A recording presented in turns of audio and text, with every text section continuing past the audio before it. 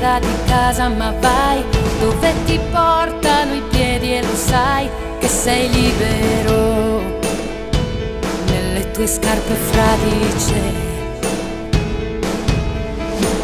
A chi ha parole cattive soltanto perché non ha saputo chiarire con sé, a chi supplica e poi se ne dimentica.